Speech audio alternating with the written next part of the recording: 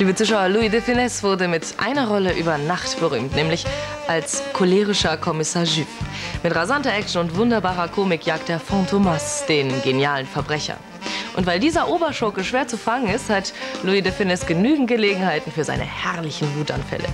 Sehen Sie jetzt Fantomas gegen Interpol, eine hinreißende Komödie aus unserer Fantomas-Reihe.